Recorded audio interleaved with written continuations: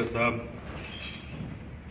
ਨਾ ਗਿਣਨੇ ਸ਼ੁਰੂ ਕਰਾਂ ਤੇ ਤੁਹਾਡੇ ਵਿੱਚੋਂ ਵੀ ਘੱਟੋ ਘੱਟ 100 ਤੋਂ ਇਹੋ ਜਿਹੇ ਸੱਜਣ ਨੇ, ਕੁਝ ਭੈਣਾਂ ਵੀ ਰਹਿ ਚੁੱਕੇ ਨੇ।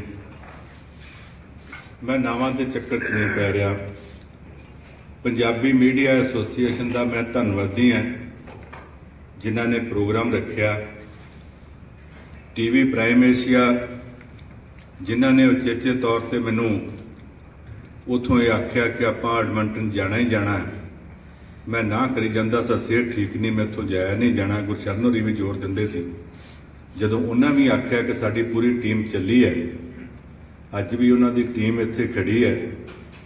ਅਰਦਾਸ ਤੇ ਅੰਗਰੇਜ਼ ਵਰਗੀਆਂ ਫਿਲਮਾਂ ਜਿਹੜੀਆਂ ਤੁਸੀਂ ਵੇਖੀਆਂ, ਜਿਨੇ ਬਣਾਈਆਂ, ਉਹ ਅਮਨ ਖਟਕਰ ਜੀ ਸਵਾ- ਤੁਹਾਡੇ ਪਿੱਛੇ ਖੜੇ ਨੇ। ਸਾਰੀ ਟੀਮ ਉਹਨਾਂ ਦੀ ਕਵਰੇਜ ਕਰਦੀ ਪਈ ਹੈ, ਮੈਂ ਉਹਨਾਂ ਦਾ ਵੀ ਧੰਨਵਾਦੀ ਹਾਂ।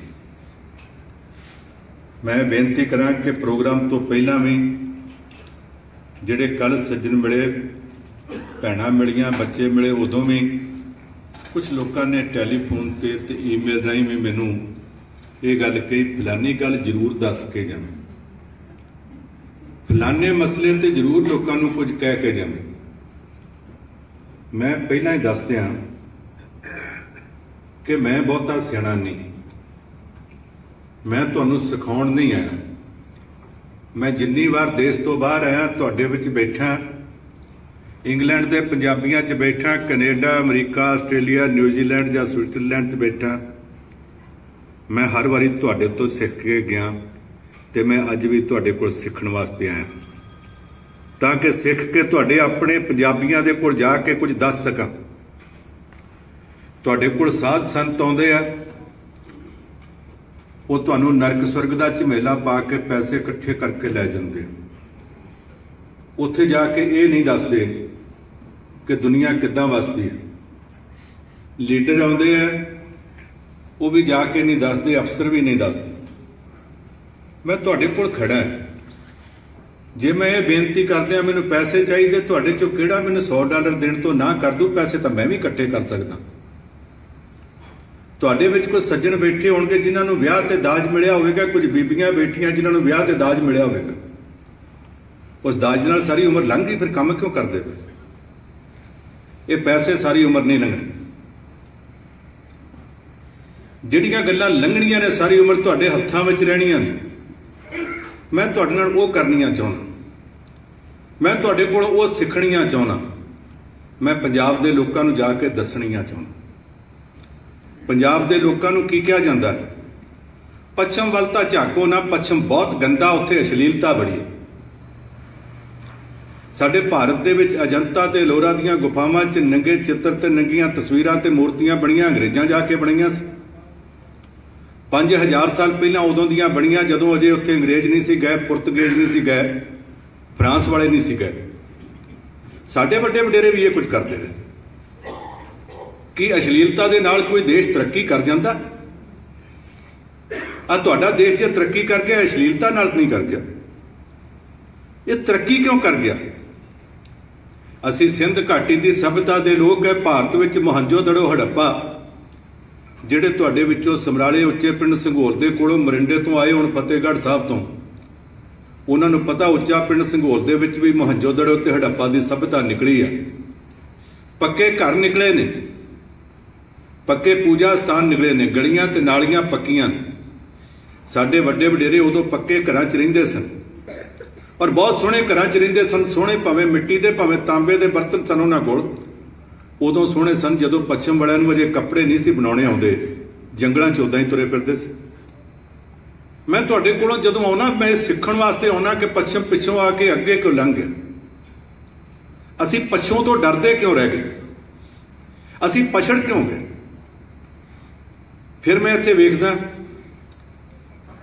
ਮੈਂ ਇੱਕ ਸ਼ਾਪਿੰਗ ਮਾਲ ਵਿੱਚ ਜਾਂਦਾ।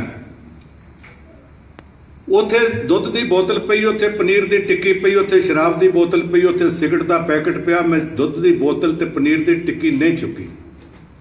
ਮੈਂ ਸ਼ਰਾਬ ਦੀ ਬੋਤਲ ਤੇ ਸਿਗਰਟ ਦਾ ਪੈਕਟ ਲੈ ਕੇ ਆ ਗਿਆ, ਕਸੂਰ ਸ਼ਾਪਿੰਗ ਮਾਲ ਵਾਲੇ ਦਾ ਜਾਂ ਮੇਰੀ ਮੱਤ ਪੁੱਠੀ ਸੀ। ਜਿਹੜੇ ਪੱਛਮ ਵਿੱਚ ਆ ਕੇ ਸਿਰਫ ਅਸ਼ਲੀਲਤਾ ਵੇਖਦੇ ਉਹਨਾਂ ਦੀ ਮੱਤ ਉਸ ਬੰਦੇ ਵਰਗੀ ਪੁੱਠੀ ਹੈ ਜਿਹੜਾ ਦੁੱਧ ਦੀ ਬੋਤਲ ਤੇ ਪਨੀਰ ਦੀ ਟਿੱਕੀ ਛੱਡ ਆਇਆ ਤੇ ਸ਼ਰਾਬ ਦੀ ਬੋਤਲ ਤੇ ਸਿਗਰਟ ਦਾ ਪੈਕਟ ਲੈ ਕੇ ਘਰ ਨੂੰ ਆ ਗਿਆ ਸੀ। ਮੈਂ ਤੁਹਾਡੇ ਕੋਲੋਂ ਸਿੱਖਦਾ ਇੰਗਲੈਂਡ ਦੇ ਪਹਿਲੇ ਦੌਰੇ ਤੇ ਮੈਂ ਆਇਆ। ਇੱਕ ਮਿੱਤਰ ਦੇ ਬੱਚਿਆਂ ਨੇ ਆਖਿਆ, ਅਸੀਂ ਅੰਕਲ ਤੁਹਾਡੇ ਨਾਲ ਰਾਤ ਨੂੰ ਡਿਨਰ ਕਰਨਾ ਚਾਹੁੰਦੇ ਮੈਂ ਕਿਹਾ, ਕਰੋ। ਬੈਠੇ ਤੇ ਉਹਨਾਂ ਚੋਂ ਜਿਹੜਾ ਮੁੰਡਾ ਸਿਆਣਾ ਸੀ, ਜ਼ਿਆਦਾ ਵਕੀਲ ਸੀ, ਮੈਂ ਉਹਨੂੰ ਆਖਿਆ, ਬੇਟਾ, ਮੈਨੂੰ ਇਹ ਦੱਸ ਭਾਰਤ ਦੀ ਤੇ ਬਰਤਾਨੀਆ ਦੀ, ਬ੍ਰਿਟਨ ਦੀ ਸੁਸਾਇਟੀ ਦਾ ਫ਼ਰਕ ਕੀ ਹੈ? ਕਹਿੰਦਾ, ਹਾਂ ਅੰਕਲ, ਮੈਂ ਤੁਹਾਨੂੰ ਦੱਸਦਾ, ਅੱਜ ਉਹਨੇ ਸ਼ੁਰੂ ਕੀਤਾ, ਮੈਂ ਕਿਹਾ ਇਹ ਵੀ ਦੱਸ ਦੇਂ ਉਥੋਂ ਦੇ ਲੋਕਾਂ ਦਾ ਤੇ ਇੱਥੇ ਵਸਦੇ ਪੰਜਾਬੀਆਂ ਦਾ ਕੀ ਫ਼ਰਕ ਕਹਿੰਦਾ, ਹਾਂ ਅੰਕਲ, ਮੈਂ ਲੱਗਾ ਦੱਸਣ ਤੁਹਾਨੂੰ। ਮੈਂ ਫਿਰ ਟੋਕ ਕੇ ਆਖਿਆ, ਇਹ ਵੀ ਦੱਸ ਦੇਂ ਉਥੋਂ ਆਏ ਬੱਚਿਆਂ ਦਾ ਤੇ ਇੱਥੇ ਜਿਹੜੇ ਪੈਦਾ ਹੋਏ ਬੱਚੇ ਪੰਜਾਬੀ, ਉਹਨਾਂ ਦਾ ਕੀ ਫ਼ਰਕ ਹੈ? ਇੱਕਦਮ ਗੁੱਸੇ 'ਚ ਆ ਕਹਿੰਦਾ, ਇਹੋ ਫ਼ਰਕ ਹੈ। ਮੈਂ ਚੁੱਪ ਕਰ ਗਿਆ। ਕਹਿੰਦਾ, ਗੁੱਸਾ ਲੱਗਾ ਨਾ? ਤੁਹਾਡਾ ਤੇ ਸਾਡਾ ਇਹੋ ਫ਼ਰਕ ਹੈ। ਅਸੀਂ ਅਗਲੇ ਦੀ ਗੱਲ ਸੁਣਨੀ ਸਿੱਖੀ ਹੈ, ਸੁਣਾਉਣੀ ਬਾਅਦ ਵਿੱਚ ਸਿੱਖੀ ਹੈ। ਤੁਸੀਂ ਤਿੰਨ ਵਾਰ ਮੇਰੀ ਗੱਲ ਕੱਟ ਦਿੱਤੀ, ਇੱਕ ਵਾਰ ਵੀ ਤੁਹਾਡੇ ਮੂੰਹੋਂ ਐਕਸਕਿਊਜ਼ ਵੀ ਨਹੀਂ ਨਿਕਲਿਆ। ਤੁਸੀਂ ਭਾਰਤ ਵਿੱਚ ਅਜੇ ਵੀ ਸੁਣਨਾ ਪਸੰਦ ਨਹੀਂ ਕਰਦੇ। ਅਸੀਂ ਲਾਈਟਾਂ ਦਿੰਨੇ ਤੇ ਇਹਦਾ ਮਤਲਬ ਭਾਈ ਸਾਹਿਬ, ਤੁਸੀਂ ਲੰਘ ਜਾਓ, ਮੈਂ ਰਸਤਾ ਦੇ ਰਿਹਾ, ਇੰਡੀਆ 'ਚ ਲਾਈਟਾਂ ਦੇਣ ਦਾ ਮਤਲਬ ਹੈ ਕਿ ਮੇਰੀਆਂ ਬ੍ਰੇਕਾਂ ਫੇਲ ਹੈ, ਬਾਕੀ ਸਾਰੇ ਪਾਸੇ ਹਟ ਜਾਓ, ਨਹੀਂ ਤੇ ਟੱਕਰ ਮਾਰੂੰਗਾ। ਉਹ ਕਹਿੰਦਾ, ਹੁਣ ਮੇਰੀ ਗੱਲ ਦਾ ਤੁਹਾਨੂੰ ਗੁੱਸਾ ਤਾਂ ਲੱਗਾ ਨਾ? ਮੈਂ ਕਿਹਾ, ਨਹੀਂ ਲੱਗਾ। ਬਲਕਿ ਮੈਨੂੰ ਆਪਣੇ ਆਪ ਤੇ ਗੁੱਸਾ ਲੱਗਾ ਕਿ ਜੇ ਮੈਂ ਗੁਰੂ ਨਾਨਕ ਸਾਹਿਬ ਨੂੰ ਪੜ੍ਹਿਆ ਹੁੰਦਾ ਆ ਸਿੱਖਿਆ ਮੈਨੂੰ ਉੱਥੋਂ ਮਿਲ ਸਕਦੀ ਸੀ, ਮੈਂ ਸਿਰਫ ਮੱਥੇ ਟੇਕਣ ਵਾਲਿਆਂ 'ਚ ਸ਼ਾਮਲ ਰਿਹਾ, ਮੈਂ ਪੜ੍ਹਿਆ ਹੀ ਨਾ। ਜੇ ਪੜ੍ਹਿਆ ਹੁੰਦਾ ਤੇ ਉਹਦੇ ਵਿੱਚ ਆਉਂਦਾ ਸੀ, ਜਬ ਲਗ ਦੁਨੀਆ ਰਹੀਏ ਨਾਨਕ ਕਿਸ਼ ਸੁਣੀਏ ਕਿਸ਼ ਕਹੀਏ, ਉਹਦੇ ਵਿੱਚ ਕਿਸ਼ ਸੁਣੀਏ, ਪਹਿਲਾਂ ਕਹੀਏ, ਬਾਅਦ ਵਿੱਚ। ਜੇ ਪੁੱਤਰ, ਮੈਂ ਇਹ ਗੱਲ ਉੱਥੋਂ ਗੁਰੂ ਨਾਨਕ ਸਾਹਿਬ ਤੋਂ ਸਿੱਖ ਕੇ ਆਉਂਦਾ, ਤੇ ਮੈਨੂੰ ਇੱਥੇ ਸਬਕ ਨਾਲ ਲੈਣਾ ਪੈਂਦਾ ਅਸੀਂ ਨਹੀਂ ਸਿੱਖ ਸਕੇ। ਅਸੀਂ ਸਿਖਾਉਣ ਹੀ ਲੱਗੇ ਰਹੇ। ਮੈਂ ਇੱਕ ਵਾਰੀ ਹੋਰ ਆਇਆ, ਮੈਨੂੰ ਇੱਥੇ ਕੁਝ ਪੰਜਾਬੀਆਂ ਨੇ ਸੱਦ ਲਿਆ ਇੱਕ ਵਿਆਹ ਤੇ, ਉਦੋਂ ਬਾਅਦ ਮੈਂ ਕਈ ਵਿਆਹਾਂ ਤੇ ਗਿਆ। ਮੈਂ ਉਹਨਾਂ ਵਿਆਹਾਂ ਤੇ ਸਿੱਖਿਆ। ਵਿਆਹ ਆਨੰਦ ਕਾਰਜ ਹੁੰਦਾ, ਆਨੰਦ ਕਾਰਜ ਦਾ ਮਤਲਬ ਆਨੰਦ ਦਾ ਕਾਰਜ ਹੈ। ਅਸਲੀ ਵਿਆਹ ਉਹ ਹੁੰਦਾ, ਬਾਕੀ ਖਾਣ ਤੇ ਪੀਣ ਹੁੰਦਾ। ਤੁਹਾਡੇ ਕੋਲ ਬਰਾਤਾਂ ਜਾਂਦੀਆਂ ਨੇ, ਗੁਰੂ ਘਰ ਪਾਰਕਿੰਗ ਵਿੱਚ ਮਿਲਣੀ ਹੋ ਜਾਂਦੀ ਹੈ, ਸਿੱਧੇ ਉੱਤੇ ਚਾਹ ਪਾਣੀ ਪੀ ਕੇ ਪਹਿਲਾਂ ਆਨੰਦ ਕਾਰਜ ਕਰਦੇ ਆ। ਫਿਰ ਪੈਲਸ ਵਿੱਚ ਜਾਂਦੇ ਆ। ਸਾਡੇ ਕੋਲ ਅੱਜ ਵੀ ਪੈਲਸ ਵਿੱਚ ਉਤਾਰਿਆ ਹੁੰਦਾ, ਉੱਥੇ ਖਾਣ ਦੇ ਨਾਲ ਪੀਣ ਵੀ ਸ਼ੁਰੂ ਹੋ ਜਾਂਦੀ ਹੈ। ਘਰ ਦੇ 10 ਜੀ 5 ਜੀ ਜਾਂਦੇ ਨਾਲ ਕੁੜੀ ਦੇ ਤੇ ਇੰਨੇ ਕੁ ਜਣੇ ਮੁੰਡੇ ਨਾਲ ਜਾਂਦੇ ਜਾ ਕੇ ਕਹਿੰਦੇ, ਚਲੋ ਲਾਵਾਂ ਦਾ ਕੰਮ ਜਿਆ ਮੁਕਾ ਆਈਏ।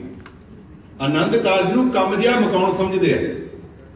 ਮੈਂ ਕਈ ਵਾਰੀ ਜਾ ਕੇ ਉੱਥੋਂ ਦੇ ਲੋਕਾਂ ਨੂੰ ਆਖਿਆ, ਤੁਹਾਡੇ ਵਿੱਚੋਂ ਗਏ ਨੇ। ਉਹਨਾਂ ਨੂੰ ਗੋਰਿਆਂ ਨੇ ਤਾਂ ਨਹੀਂ ਸਿਖਾਇਆ? ਕਿ ਪਹਿਲਾਂ ਆਨੰਦ ਕਾਰਜ ਕਰੋ, ਫਿਰ ਪੈਲਸ ਵਿੱਚ ਜਾਓ। ਉਹਨਾਂ ਉੱਥੇ ਜਾ ਕੇ ਅਕਲ ਸਿੱਖ ਲਈ, ਉਹ ਤੁਹਾਨੂੰ ਸਿਖਾਉਣ ਜੋਗੇ ਹੈਗੇ, ਤੁਸੀਂ ਕਦੋਂ ਸਿੱਖੋਗੇ? ਅਜੇ ਭਾਰਤ ਦੇ ਲੋਕ ਸਿੱਖ ਨਹੀਂ ਨੇ ਬਹੁਤ ਕੁਝ ਇਹੋ ਜਿਹਾ ਜਿਹੜਾ ਸਿਖਾਉਣ ਦੀ ਲੋੜ ਹੈ। ਮੈਂ ਜਦੋਂ ਤੁਹਾਡੇ ਕੋਲ ਆਇਆ, ਮੇਰਾ ਦਿਲ ਕਰਦਾ ਮੈਂ ਤੁਹਾਡੇ ਨਾਲ ਗੱਲਾਂ ਕਰੀ ਜਾਵਾਂ।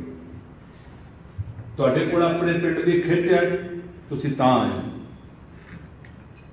ਬੀਬੀਆਂ ਆਖਰੀ ਦਮਾਂ ਤੱਕ ਪੇਕਿਆਂ ਦਾ ਕਾਂ ਡੀਕਦੀਆਂ ਮੈਂ ਤੁਹਾਡੇ ਪੇਕੇ ਪਿੰਡ ਦਾ ਕਾਂ ਮੈਂ ਤੁਹਾਡੇ ਨਾਲ ਗੱਲਾਂ ਕਰਨ ਜਦੋਂ ਆਇਆ ਮੈਂ ਤੁਹਾਨੂੰ ਇਹ ਦੱਸਣਾ ਚਾਹੁੰਦਾ ਕਿ ਸਾਡੀ ਨਲਾਇਕੀ ਕਰਕੇ ਤੁਹਾਡਾ ਪੰਜਾਬ ਤਬਾਹ ਹੋ ਗਿਆ। ਸਾਡਾ ਧਿਆਨ ਸਿਆਸਤ ਵੱਲ ਵੱਧਦਾ ਹੈ। ਅਸੀਂ ਲੀਡਰਾਂ ਵੱਲ ਗਿਣਤੀਆਂ ਮਿੰਟੀਆਂ ਕਰਦੇ ਹਾਂ। ਤੁਹਾਡੇ ਵਿੱਚ ਕੋਈ ਅਕਾਲੀ ਹੈ ਤੇ ਉਹਦੇ ਨਾਲ ਜੁੜੇ ਹੋ, ਜੁੜੇ ਰਹੋ, ਮੈਂ ਨਹੀਂ ਰੋਕਦਾ। ਕੋਈ ਕਾਂਗਰਸੀ ਹੈ, ਤੁਸੀਂ ਆਪਣੀ ਪਾਰਟੀ ਨਾਲ ਤੁਹਾਡੇ ਸਬੰਧ ਨੇ ਰੱਖਿਓ, ਮੈਂ ਨਹੀਂ ਰੋਕਦਾ। ਆਮ ਆਦਮੀ ਪਾਰਟੀ ਨਾਲੋਂ ਮੈਂ ਉਹਦੇ ਵੀ ਖਿਲਾਫ ਨਹੀਂ।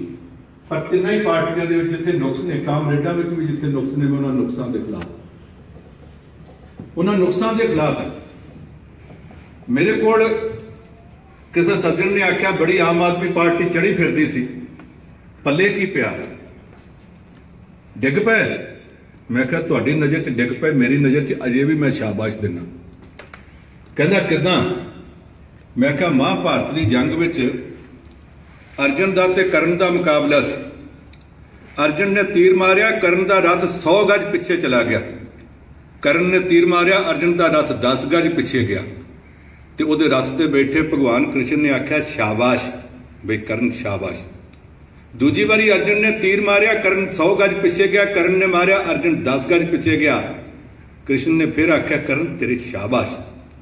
ਅਰਜਨ ਨੇ ਕਿਹਾ, ਤੁਸੀਂ ਮੇਰੇ ਨਾਲ ਹੋ ਕਿ ਕਰਨ ਦੇ ਨਾਲ?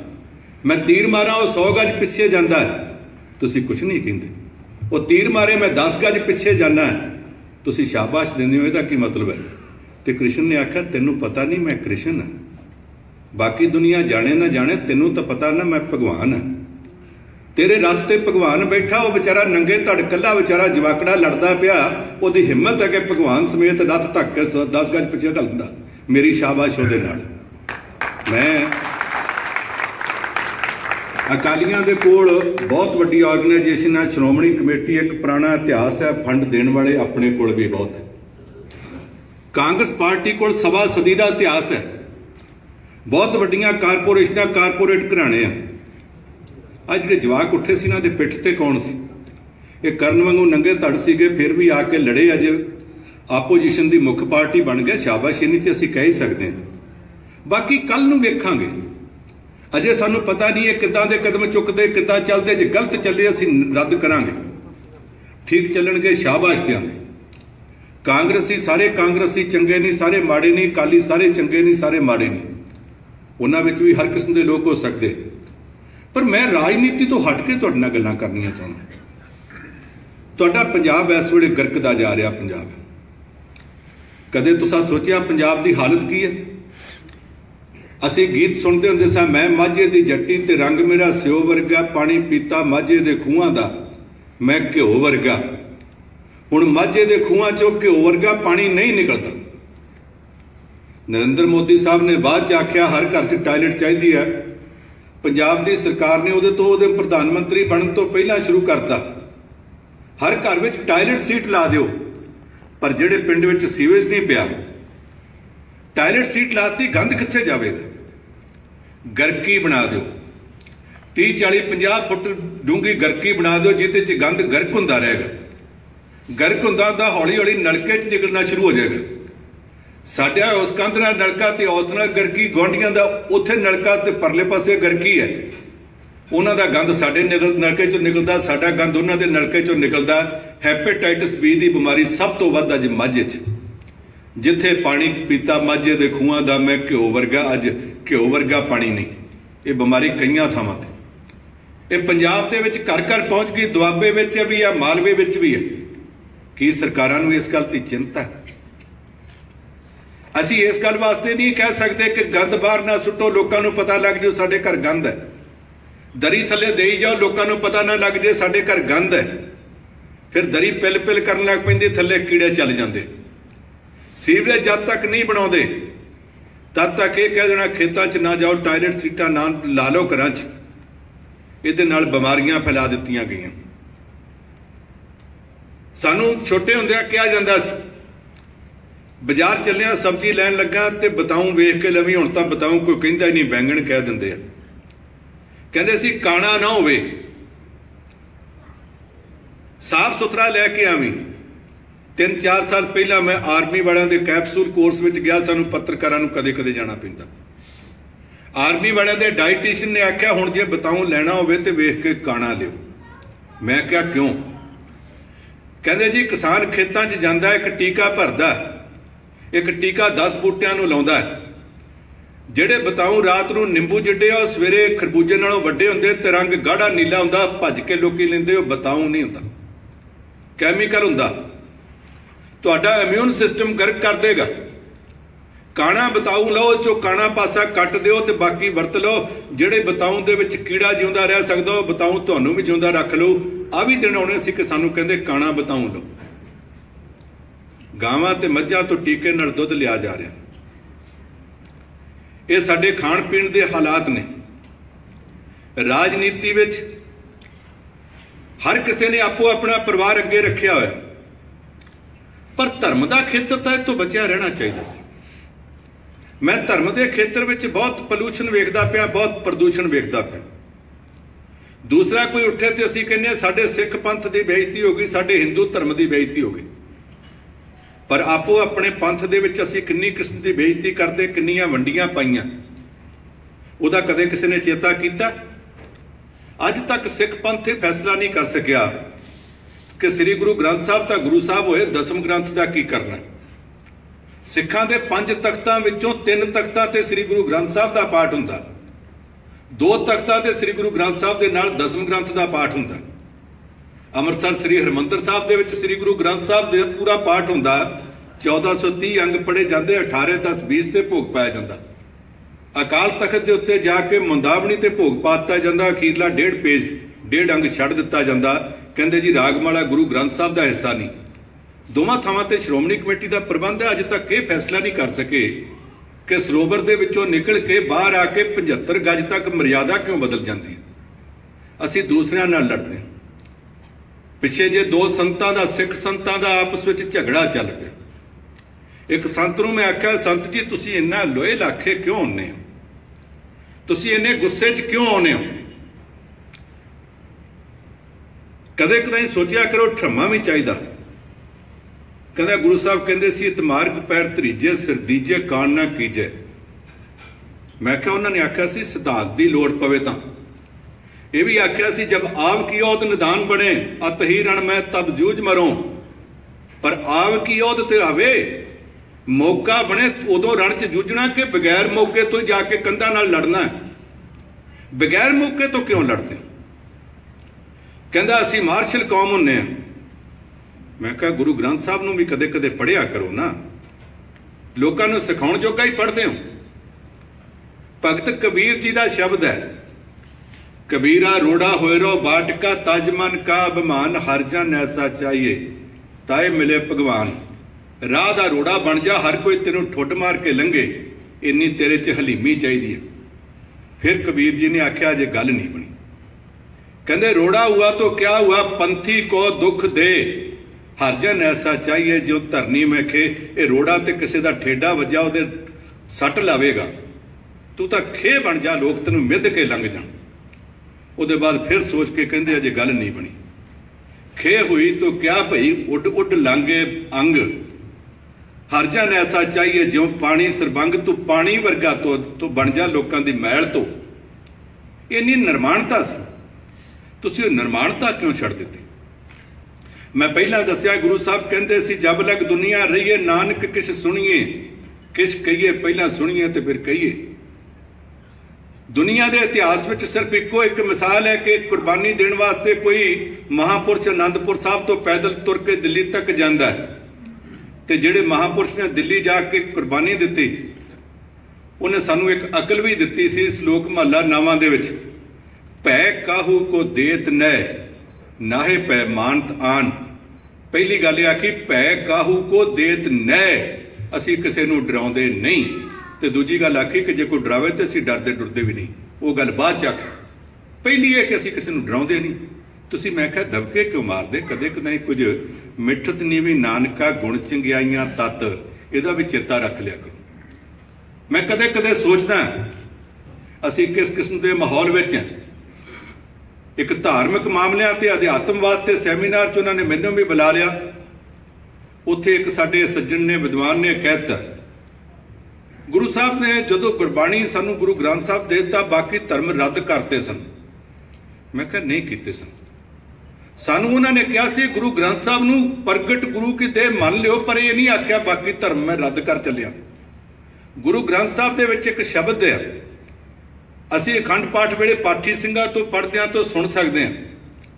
ਜਿਹਦੇ ਵਿੱਚ ਲਿਖਿਆ, ਵੇਦ ਕਤੇਬ ਕਹੋ ਮਤ ਝੂਠੇ, ਝੂਠਾ ਜੋ ਨਾ ਵਿਚਾਰੇ, ਨਾ ਵੇਦਾਂ ਨੂੰ ਝੂਠੇ ਕਿਉ, ਨਾ ਕਤੇਬ ਦਾ ਮਤਲਬ ਕੁਰਾਨ ਨੂੰ ਝੂਠੇ ਕਿਉ। ਝੂਠਾ ਉਹ ਆ, ਇਹ ਨਹੀਂ ਕਿ ਜਿਹਨੇ ਪੜ੍ਹੇ ਨਹੀਂ। ਕਹਿੰਦੇ, ਝੂਠਾ ਜੋ ਨਾ ਵਿਚਾਰੇ ਜਿਹਨੇ ਪੜ੍ਹ ਕੇ ਉਹਦੇ ਉੱਤੇ ਵਿਚਾਰ ਨਹੀਂ ਕੀਤੀ। ਝੂਠਾ ਤਾਂ ਉਹ ਹੈ। ਤੁਸੀਂ ਦੂਸਰਾ ਨੂੰ ਝੂਠੇ ਕਿਉਂ ਕਹਿੰਦੇ ਉਹਨਾਂ ਨੇ ਦੋਵਾਂ ਧਰਮਾਂ ਨੂੰ ਰੱਦ ਨਹੀਂ ਕੀਤਾ। ਧਰਮਾਂ ਵਾਲਿਆਂ ਨੂੰ ਅਕਲ ਦਿੱਤੀ ਸੀ। ਪੰਡਤ ਨੂੰ ਆਖਿਆ ਸੀ, ਪੰਡਤ, ਵੇਦ ਵਿਚਾਰ ਪੰਡਤ ਮਨ ਕਾ ਕ੍ਰੋਧ ਨਿਵਾਰ ਪੰਡਤ ਪੰਡਤਾ ਤੂੰ ਵੇਦਾਂ ਦੀ ਵਿਚਾਰ ਕਰ। ਆਪਣੇ ਮਨ ਦਾ ਕ੍ਰੋਧ ਨਿਵਾਰ। ਆ ਜਿਹੜੇ ਬਾਕੀਆਂ ਨੂੰ ਸ਼ਰਾਪ ਦਿਨਾ ਮੁੜ ਮੁੜ ਕੇ ਸ਼ਰਾਪ ਦੇਣੇ ਬੰਦ ਕਰ। ਮੁਸਲਮਾਨ ਨੂੰ ਕਿਹਾ ਸੀ, ਮੁਸਲਮਾਨ ਕਹਾਵਣ ਮੁਸ਼ਕਲ ਹੋਏ ਤਾਂ ਮੁਸਲਮਾਨ ਕਹਾਵੇ। ਪਹਿਲਾਂ ਮੁਸਲਮਾਨ ਬਣਤਾ ਲੈ ਤੂੰ ਲੋਕਾਂ ਨੂੰ ਮੁਸਲਮਾਨੀ ਕੀ ਸਿਖਾਏਂਗਾ?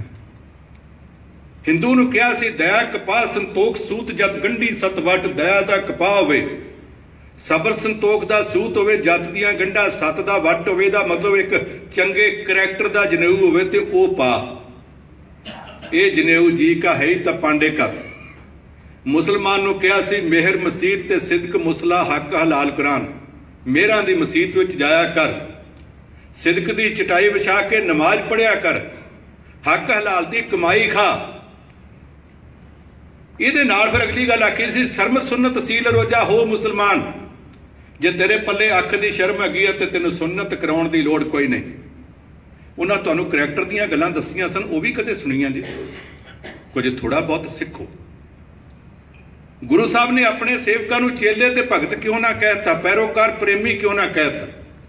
ਸਿੱਖ ਕਿਉਂ ਆਖਿਆ? ਆ ਮੇਰੇ ਕੋਲ ਗਲਾਸ ਪਿਆ, ਦੋ ਚਮਚੇ ਉਣਾ ਇਹਦੇ ਚ, ਮੈਂ ਦੋ ਚਮਚੇ ਪਾ ਦਿਆਂਗਾ। ਜੇ ਇਹਦੇ ਵਿੱਚ ਪੂਰਾ ਕੰਢੇ ਤੱਕ ਭਰਿਆ ਹੋਵੇ, ਮੈਂ ਕੁਝ ਪਾ ਸਕਦਾ, ਇੱਕ ਚਮਚਾ ਵੀ ਪਾਇਆ ਤੇ ਬਾਹਰ ਡਿੱਗ ਪਵੇਗਾ। ਗੁਰੂ ਸਾਹਿਬ ਇਹ ਕਹਿਣਾ ਚਾਹੁੰਦੇ ਸਨ, ਮੇਰੇ ਸਿੱਖ ਦਾ ਮਤਲਬ ਹੈ ਸਿੱਖਾ ਤੂੰ ਸਿੱਖ। ਜੋ ਸਿੱਖ ਸਕਦਾ, ਸਿੱਖ। ਜ਼ਿੰਦਗੀ ਦੀ ਆਖਰੀ ਵਕਤ ਤੱਕ, ਆਖਰੀ ਸਾਹ ਤੱਕ ਸਿੱਖ। ਕਿਉਂਕਿ ਤੂੰ ਕਦੇ ਵੀ ਪਰਫੈਕਟ ਨਹੀਂ। ਹੁਣ ਤਾਂ ਹੀ ਫਿਰ ਕਿਤੇ ਨਾ ਕਿਤੇ ਰਹਿ ਜਾਂਦੀ ਹੈ। ਸਾਡੇ ਕੋਲ ਕੁਝ ਲੋਕਾਂ ਨੂੰ ਇਹ ਵਹਿਮ ਹੈ। ਉਹ ਦੋ ਚਾਰ ਸ਼ਬਦ ਪੜ੍ਹ ਕੇ ਉਹ ਸਮਝ ਲੈਂਦੇ, ਮੈਂ ਸਿੱਖ ਗਿਆ। ਗਿਆਨ ਦਾ ਸਮੁੰਦਰ ਹੈ। ਇਸ ਸਮੁੰਦਰ 'ਚ ਤੁਹਾਨੂੰ ਤਾਰੀਆਂ ਲਾਉਣੀਆਂ ਪੈਣੀਆਂ। ਅੱਜ ਦੇ ਯੁੱਗ ਦੇ ਵਿੱਚ ਤੁਹਾਡੇ ਵਿੱਚ ਪੜ੍ਹੇ ਲਿਖੇ ਬੱਚੇ ਵੀ ਨੇ, ਪੜ੍ਹੇ ਲਿਖੇ ਵਿਦਵਾਨ ਨੇ, ਮੇਰੇ ਤੋਂ ਵੱਡੀ ਉਮਰ ਦੇ ਵੀ ਨੇ, ਰਾਜ ਜੀ ਵੀ ਬੈਠੇ ਨੇ, ਰਵਿੰਦਰ ਜੀ ਬੈਠੇ ਨੇ, ਕਾਲੀਆ ਜੀ ਇਹ ਮੇਰੇ ਤੋਂ ਜ਼ਿਆਦਾ ਜਾਣਦੇ ਨੇ। ਅੱਜ 720 ਕਰੋੜ ਦੀ ਦੁਨੀਆ ਹੈ। ਕੋਈ 6 ਘੰਟੇ ਸੌਂਦਾ, ਕੋਈ 4 ਘੰਟੇ, ਕੋਈ 8 ਘੰਟੇ, ਕੋਈ 10 ਘੰਟੇ ਐਵਰੇਜ 8 ਘੰਟੇ ਗਣੀ ਜਾਂਦੀ। ਇਹਦਾ ਮਤਲਬ ਕੋਈ ਵੀ ਵਕਤ ਘੜੀ ਵੱਲ ਵੇਖ ਲਓ, ਇਹਦਾ ਮਤਲਬ ਤੀਸਰਾ ਹਿੱਸਾ ਦੁਨੀਆ ਸੁੱਤੀ ਪਈ ਹੈ। ਜਦੋਂ ਮੈਂ ਸੁੱਤਾ ਹੁੰਨਾ, ਉਦੋਂ ਤੀਸਰਾ ਹਿੱਸਾ ਦੁਨੀਆ 240 ਕਰੋੜ ਸੁੱਤੇ ਲੋਕਾਂ 'ਚ ਮੈਂ ਸ਼ਾਮਲ ਹੁੰਨਾ। ਜਦੋਂ ਮੈਂ ਜਾਗਦਾ ਹੁੰਨਾ, ਉਦੋਂ ਮੈਂ 480 ਕਰੋੜ ਲੋਕਾਂ ਦੇ ਵਿੱਚ ਜਾਗਦਿਆਂ 'ਚ ਸ਼ਾਮਲ ਹੁੰਨਾ। ਜਦੋਂ ਮੈਂ ਸੁੱਤੇ ਲੋਕਾਂ 240 ਕਰੋੜ ਵਿੱਚ ਹੁੰਨਾ, ਮੇਰੇ ਸੁੱਤਿਆਂ ਤੋਂ ਬਾਕੀ ਦੁਨੀਆ ਸੌ ਨਹੀਂ ਗਈ 480 ਕਰੋੜ ਲੋਕ ਪੈਂਡਾ ਕਰਦੇ ਪਏ। ਮੈਨੂੰ ਸੁੱਤੇ ਉੱਠਦੇ ਸਾਰ ਉਹ ਪੈਂਡਾ ਜਿਹੜਾ, ਆਪਣੇ ਆਪ ਨੂੰ ਅਪਡੇਟ ਕਰਨਾ ਪਏਗਾ, ਨਹੀਂ ਤੇ ਮੈਂ ਪਛੜ ਜਾਊਂਗਾ। ਉੱਠਦੇ ਸਾਰ ਮੈਨੂੰ ਅਖਬਾਰ ਵੇਖਣੀ ਪਵੇਗੀ, ਖਬਰਾਂ ਵੇਖਣੀਆਂ ਪੈਣਗੀਆਂ। ਮੈਨੂੰ ਆਪਣੇ ਆਪ ਨੂੰ ਈਮੇਲ ਚੈੱਕ ਕਰਕੇ ਅਪਡੇਟ ਕਰਨਾ ਪਵੇਗਾ, ਨਹੀਂ ਤਾਂ ਮੈਂ ਪਛੜ ਜਾਵਾਂਗਾ। ਤੁਸੀਂ ਜਿਹੜੇ ਦੁਨੀਆ ਦੇ ਦੂਸਰੇ ਸਿਰੇ ਤੇ ਆ ਗਏ ਹੋ ਤੁਸੀਂ ਇਹਨਾਂ ਗੱਲਾਂ ਬਾਰੇ ਵੱਧ ਜਾਣਦੇ ਹੋ। ਤੁਸੀਂ ਅਪਡੇਟ ਕਰਦੇ ਪਏ ਹੋ। ਤੁਹਾਨੂੰ ਦੁਨੀਆ ਦੀ ਲੋੜ ਹੈ। ਇਸ ਚਾਨਣ ਚੋਂ ਤੁਸੀਂ ਬਹੁਤ ਕੁਝ ਸਿੱਖਿਆ। ਤੁਸੀਂ ਇੱਥੇ ਇਸ ਕਰਕੇ ਨਹੀਂ ਬੈਠੇ ਕਿ ਤੁਸੀਂ ਨਲਾਇਕ ਮਾਤਾ ਸਾਂਭ ਨਹੀਂ ਸਕੀ, ਵਿਦੇਸ਼ ਵਿੱਚ ਗਿਆ ਨੋਬਲ ਪ੍ਰਾਈਜ਼ ਲੈ ਗਿਆ। ਕਲਪਨਾ ਚਾਵਲਾ ਭਾਰਤ ਵਿੱਚ ਪੈਦਾ ਹੋਈ, ਪਤਾ ਨਹੀਂ ਅੱਧਾ ਪਿੰਡ ਕਹਿਣ ਵਾਸਤੇ ਆਇਆ ਹੋਣਾ, ਪੱਥਰ ਜੰਪਿਆ ਹੌਸਲਾ ਰੱਖਿਓ। ਪਰ ਉਹ ਕੁੜੀ ਵਿਦੇਸ਼ ਵਿੱਚ ਚਲੀ ਗਈ, ਉਹਨਾਂ ਨੇ ਉਹਦੇ ਟੈਲੈਂਟ ਦੀ ਕਦਰ ਕੀਤੀ। ਤਾਰਿਆਂ ਨੂੰ ਗਾਉਂਦੀ ਗਾਉਂਦੀ ਤਾਰਿਆਂ 'ਚ ਤਾਰਾ ਬਣ ਗਈ। ਅੱਜ ਇੱਕ ਤਾਰੇ ਦਾ ਨਾਂ ਕਲਪਨਾ ਚਾਵਲਾ ਹੈ। ਤੁਹਾਡੇ ਕੋਲ ਕਿੰਨੇ ਟੈਲੈਂਟ ਵਾਲੇ ਲੋਕ ਆ ਜਿਨ੍ਹਾਂ ਭਾਰਤ ਤੋਂ ਬਾਹਰ ਆ ਕੇ ਆਪਣੇ ਟੈਲੈਂਟ, ਆਪਣੇ ਹੁਨਰ, ਆਪਣੇ ਗਿਆਨ ਦੇ ਨਾਲ, ਆਪਣੀ ਮਿਹਨਤ ਨਾਲ, ਆਪਣੀ ਅਕਲ ਨਾਲ ਇੱਕ ਥਾਂ ਬਣਾਈ ਹੈ। ਤੁਸੀਂ ਸਾਰਿਆਂ ਬਣਾਈ। ਕਸੂਰ ਸਾਡਾ ਹੈ। ਅਸੀਂ ਤੁਹਾਡੇ ਟੈਲੈਂਟ ਦੀ ਕਦਰ ਨਹੀਂ ਕਰ ਸਕੇ। ਇਹ ਵਿਚਾਰੀ ਭਾਰਤ ਮਾਂ ਪੁੱਤ ਜੰਮਣੇ ਜਾਣਦੀ, ਇਹਨਾਂ ਪੁੱਤਾਂ ਦੀ ਕਮਾਈ ਖਾਣਾ ਨਹੀਂ ਸਿੱਖ ਸਕੀ। ਜਿਸ ਦਿਨ ਭਾਰਤ ਮਾਂ ਆਪਣੇ ਪੁੱਤਰਾਂ ਨੂੰ ਸੰਭਾਲਣਾ ਤੇ ਉਹਨਾਂ ਦੀ ਕਮਾਈ ਖਾਣਾ ਸਿੱਖ ਜਾਵੇਗੀ, ਭਾਰਤ ਮਾਂ ਸਭ ਤੋਂ ਵੱਧ ਤਰੱਕੀ ਕਰ ਜਾਵੇਗੀ। ਅਜੇ ਤੱਕ ਸਿੱਖ ਨਹੀਂ ਸਕੀ। ਇਹ ਸਾਡੀ ਕਮਜ਼ੋਰੀ ਹੈ। ਜਿਹਦਾ ਕਰਕੇ ਤੁਸੀਂ ਇੱਥੇ ਬੈਠੇ ਹੋ। ਤੁਹਾਡੇ ਵਿੱਚੋਂ ਬਹੁਤ ਸਾਰੇ ਲੋਕ ਨੇ ਜਿਹੜੇ ਭਾਰਤ ਜਾਣਾ ਚਾਹੁੰਦੇ, ਭਾਰਤ ਵਿੱਚ ਜਾ ਕੇ ਕੁਝ ਕਰਨਾ ਚਾਹੁੰਦੇ। ਮੈਂ ਬੜਿਆਂ ਨਾਲ ਗੱਲਾਂ ਕੀਤੀਆਂ, ਉਹਨਾਂ ਦੇ ਮਨ ਵਿੱਚ ਬਲਬਲੇ ਨੇ। ਮੈਂ ਤੁਹਾਡੀ ਭਾਵਨਾ ਸਮਝਦਾ। ਤੁਸੀਂ ਦੁਨੀਆ ਤੋਂ ਦੂਰ ਕਿਸੇ ਵੀ ਦੇਸ਼ ਵਿੱਚ ਗਏ ਹੋ, ਕਿਸੇ ਵੀ ਸ਼ਹਿਰ ਵਿੱਚ ਗਏ ਹੋ, ਪੰਜ ਪੰਜਾਬੀ ਵੀ ਬੈਠੇ, ਇੱਕ ਛੋਟਾ ਜਿਹਾ ਪੰਜਾਬ ਬਣਾ ਕੇ ਬਹਿ ਗਏ ਹੋ। ਤੁਸੀਂ ਘਰ ਪਿੱਛੋਂ ਖਰੀਦਿਆ ਗੁਰੂ ਘਰ ਪਹਿਲਾਂ ਬਣਾਉਣ ਦਾ ਯਤਨ ਕੀਤਾ ਤੇ ਉਹ ਗੁਰੂ ਘਰ ਕੱਲਾ ਗੁਰੂ ਘਰ ਨਹੀਂ। ਤੁਹਾਡਾ ਕਮਿਊਨਿਟੀ ਸੈਂਟਰ ਵੀ। ਉਹ ਦੋਵੇਂ ਫਰਜ਼ ਅਦਾ ਕਰਦਾ, ਦੋਵੇਂ ਭੂਮਿਕਾਵਾਂ ਅਦਾ ਕਰਦਾ, ਤੁਹਾਡੀਆਂ ਦੋਵੇਂ ਲੋੜਾਂ ਪੂਰੀਆਂ ਕਰਦਾ। ਜੇ ਦੁਨੀਆ ਤੋਂ ਦੂਸਰੇ ਸਿਰੇ ਆ ਕੇ ਵੀ ਤੁਸੀਂ ਇੱਕ ਛੋਟਾ ਜਿਹਾ ਪੰਜਾਬ ਬਣਾ ਕੇ ਬੈਠੇ ਹੋ ਤੁਹਾਡੇ ਮਨ ਵਿੱਚ ਇਹ ਭਾਵਨਾ ਰਹਿੰਦੀ ਹੈ ਕਿ ਫਿਰ ਅਸੀਂ ਉੱਥੇ ਜਦੋਂ ਵਾਪਸ ਜਾਂਦੇ ਹਾਂ, ਇੱਕ ਛੋਟਾ ਜਿਹਾ ਕੈਨੇਡਾ, ਇੱਕ ਛੋਟਾ ਜਿਹਾ ਅਮਰੀਕਾ, ਇੱਕ ਛੋਟਾ ਜਿਹਾ ਇੰਗਲੈਂਡ, ਇੱਕ ਛੋਟਾ ਜਿਹਾ ਨਿਊਜ਼ੀਲੈਂਡ ਬਣਾਉਣ ਦਾ ਯਤਨ ਕਰੀਏ। ਮੁਸ਼ਕਲ ਕੀ ਹੈ? ਤੁਸੀਂ ਰਿਸ਼ਤੇਦਾਰਾਂ ਤੇ ਟੇਕ ਰੱਖਦੇ ਹੋ। ਰਿਸ਼ਤੇਦਾਰੀਆਂ ਅੱਜ ਕੱਲ ਵੀ ਉੱਥੇ ਮਤਲਬ ਪ੍ਰਸਤੀ ਬਹੁਤ ਹੋ ਗਈ ਤੇ ਉਹਦਾ ਕਸੂਰ ਲੋਕਾਂ ਦਾ ਨਹੀਂ। ਜਿਹੋ ਜਿਹੀ ਕੋਕੋ ਹੁੰਦੀ, ਉਹ ਜੇ ਬੱਚੇ ਹੁੰਦੇ ਨੇ। ਜਿਹੋ ਜੀ ਲੀਡਰਸ਼ਿਪ ਸਿਆਸੀ ਪੱਖੋਂ ਮਿਲੀ, ਜਿਹੋ ਜੀ ਲੀਡਰਸ਼ਿਪ ਸਮਾਜੀ ਪੱਖੋਂ ਮਿਲੀ, ਜਿਹੋ ਜੀ ਲੀਡਰਸ਼ਿਪ ਧਾਰਮਿਕ ਪੱਖੋਂ ਮਿਲੀ, ਉਦੋਂ ਦੇ ਲੋਕ ਬਣਦੇ ਜਾ ਰਹੇ ਨੇ। ਤੁਸੀਂ ਤੇ ਇਹ ਵੇਖਿਆ ਕਿ ਗੱਦੀਆਂ ਵਾਸਤੇ ਲੀਡਰ ਲੜਦੇ ਆ। ਮੈਂ ਤੁਹਾਨੂੰ ਸਭ ਤੋਂ ਨਿਖਿੱਧ ਮਿਸਾਲ ਦੇਣੀ ਚਾਹੁੰਦਾ ਜਲੰਧਰ ਸ਼ਹਿਰ ਦੇ ਵਿੱਚ 15 16 ਸ਼ਮਸ਼ਾਨ ਘਾਟ ਹੈ। ਆ 2-3 ਸਾਲ ਪਹਿਲਾਂ ਦੀ ਗੱਲ ਹੈ। ਇੱਕ ਸ਼ਮਸ਼ਾਨ ਘਾਟ ਦੀ ਕਮੇਟੀ ਦੇ ਪ੍ਰਧਾਨ ਸੈਕਟਰੀ ਦੀ ਚੋਣ ਹੋਣੀ ਸੀ। ਆਪੋ ਵਿੱਚ ਲੜ ਪਏ। ਬਲਦੇ ਸਿਵੇ ਚੋਂ ਬਲਦੀਆਂ ਲੱਕੜਾਂ ਚੁੱਕ ਕੇ ਇੱਕ ਦੂਸਰੇ ਦੇ ਸਿਰ 'ਚ ਮਾਰੀਆਂ। ਸਿਵਿਆਂ ਦੀ ਕਮੇਟੀ ਦੀ ਪ੍ਰਧਾਨਗੀ ਤੋਂ ਵੀ ਲੜ ਪਏ, ਬਾਕੀ ਕੀ ਰਹਿ ਗਿਆ? ਤੇ ਗੱਲ ਵਿੱਚੋਂ ਕੀ ਹੈ? ਹਰ ਸਾਲ ਸ਼ਮਸ਼ਾਨ ਘਾਟ ਵਾਸਤੇ ਲੱਕੜਾਂ ਖਰੀਦੀਆਂ ਜਾਂਦੀਆਂ। ਟਰੱਕਾਂ ਦੇ ਟਰੱਕ ਆਉਂਦੇ, ਉਹਦੇ ਚੋਂ ਕਮਿਸ਼ਨ ਚੱਲਦਾ, ਸਮਗਰੀ ਆਉਂਦੀ, ਉਹ ਚੋਂ ਕਮਿਸ਼ਨ ਚੱਲਦਾ। ਲੋਕੀ ਮਰਗਿਆਂ ਦੇ ਉੱਤੇ ਚਾਦਰ ਪਾਉਂਦੇ ਨੇ, ਲੋਈ ਪਾਉਂਦੇ ਨੇ। ਕਿਸੇ ਦੇ ਉੱਤੇ 10 ਲੋਈਆਂ, ਕਿਸੇ ਦੇ ਉੱਤੇ 2 ਲੋਈਆਂ, ਜੇ 5 ਦੀ ਐਵਰੇਜ ਹੋਵੇ। ਇੱਕ ਸ਼ਮਸ਼ਾਨ ਘਾਟ 'ਚ ਰੋਜ਼ 8 ਲਾਸ਼ਾਂ ਆ ਜਾਣ। 40 ਲੋਈਆਂ ਨੇ ਮਹੀਨੇ ਦੀਆਂ 1200 ਬਣ ਗਈਆਂ, ਉਹ ਕਿੱਥੇ ਜਾਂਦੀਆਂ? ਉਹ 500 ਵਾਲੀ ਲੋਈ 400 ਰੁਪਏ ਨੂੰ ਜਾ ਕੇ ਬਾਜ਼ਾਰ 'ਚ ਵਿਕਦੀ ਬਾਜ਼ਾਰ ਵਾਲੇ ਧੋ ਕੇ ਲਿਫਾਫੇ 'ਚ ਬੰਦ ਕਰਕੇ ਫਿਰ ਕਿਸੇ ਨੂੰ ਦੇ ਦਿੰਦੇ ਆ। ਉਹ ਲਿਆ ਕੇ ਕਿਸੇ ਸਟੇਜ ਦੇ ਉੱਤੇ ਉਹ ਲੋਈ ਮੋਢਿਆਂ ਤੇ ਪਾ ਕੇ ਜਤਿੰਦਰ ਪੰਨੂ ਦਾ ਸਨਮਾਨ ਕਰ ਦਿੰਦਾ। ਇਹ ਵੀ ਇੱਕ ਕਮਾਈ ਹੈ। ਇਹ ਵੀ ਇੱਕ ਕਮਾਈ ਇਹਦੇ ਵਾਸਤੇ ਲੜਾਈ ਸਾਡੀ ਸਿਵਿਆਂ ਤੱਕ ਪਹੁੰਚ ਗਈ। ਸਿਵਿਆਂ ਤੱਕ ਪਹੁੰਚ ਗਈ ਲੜਾਈ। ਉਸ ਲੜਾਈ ਤੋਂ ਤੁਸੀਂ ਸਬਕ ਸਿੱਖੋ।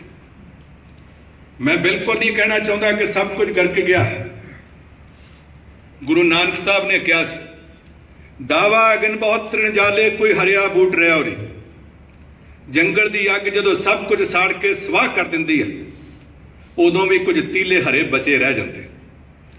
ਉਹਨਾਂ ਬਚਦੇ ਤੀਲਿਆਂ ਨੂੰ ਸੰਭਾਲੀਏ, ਉਹਦੇ ਚੋਂ ਨਵੀਂ ਬਨਸਪਤੀ ਪੈਦਾ ਕਰੀਏ, ਨਵੀਂ ਖੇਤੀ ਪੈਦਾ ਕਰੀਏ। ਜ਼ਿੰਦਗੀ ਦੇ ਬੂਟੇ ਨਵੇਂ ਲੱਭੀਏ। ਅਜੇ ਵੀ ਉੱਥੇ ਸਭ ਕੁਝ ਤਬਾਹ ਨਹੀਂ ਹੋ ਗਿਆ। ਬਹੁਤ ਕੁਝ ਇਹੋ ਜਿਹਾ ਜਿਨ੍ਹਾਂ ਲੋਕਾਂ ਨੇ ਕੰਮ ਕੀਤਾ। ਮੈਂ ਕਈ ਵਾਰ ਦੱਸਦਾ ਹੁੰਨਾ ਕਿ ਜਦੋਂ ਮੈਂ ਗਿਆ ਇੰਗਲੈਂਡ ਦੇ ਵਿੱਚ, ਫਲੋਰੈਂਸ ਨਾਈਟਿੰਗੇਲ ਦਾ ਮਿਊਜ਼ੀਅਮ ਮੈਨੂੰ ਵਿਖਾਇਆ ਗਿਆ ਛੁੱਟੀ ਵਾਲੇ ਦਿਨ ਉਹਨਾਂ ਮੇਰੇ ਕਰਕੇ ਖੋਲਤਾ ਕਿ ਪੱਤਰਕਾਰ ਆਇਆ, ਅਖੀਰ ਤੇ ਉਹਨਾਂ ਦੇ ਕੇਅਰ ਟੇਕਰ ਨੇ ਪੁੱਛਿਆ।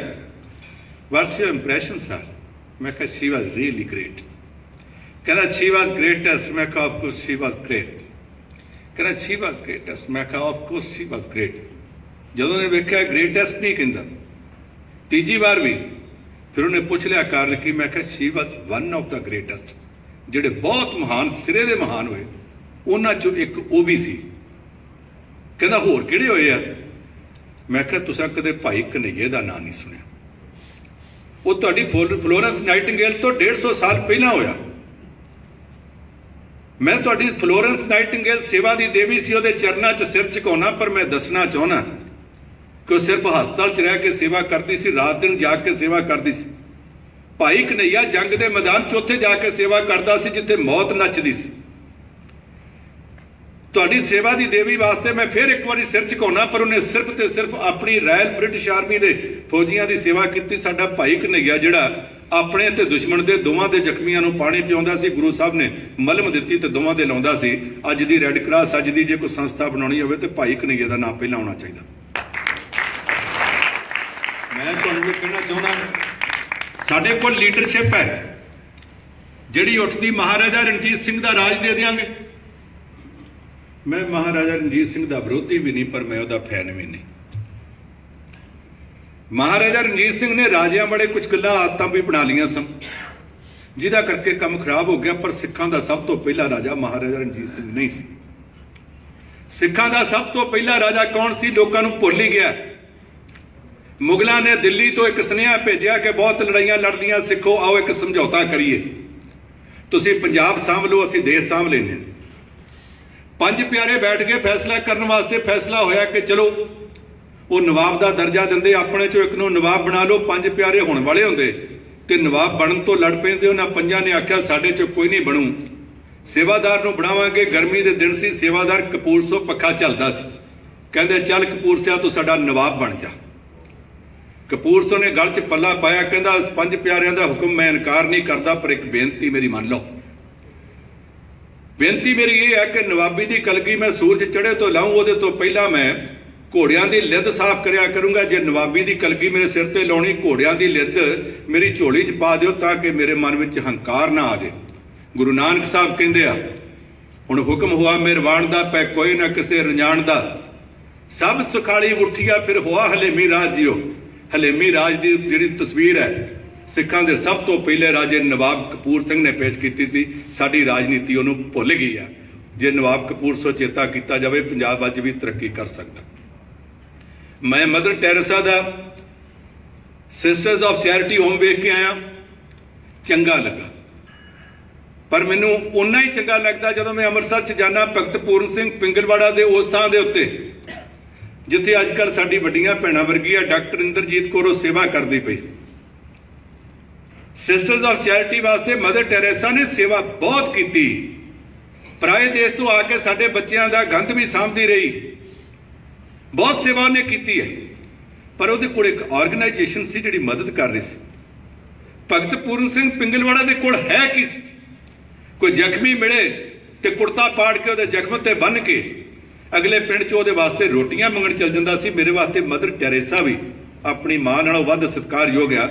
ਮੇਰੇ ਵਾਸਤੇ ਭਗਤ ਪੂਰਨ ਸਿੰਘ ਪਿੰਗਲਵਾੜਾ ਵੀ ਪਿਤਾ ਸਮਾਨ ਦੋਹਾਂ ਸਤਿਕਾਰ ਕਰਦਾ ਅੱਜ ਕੱਲ ਕੀ ਹੈ?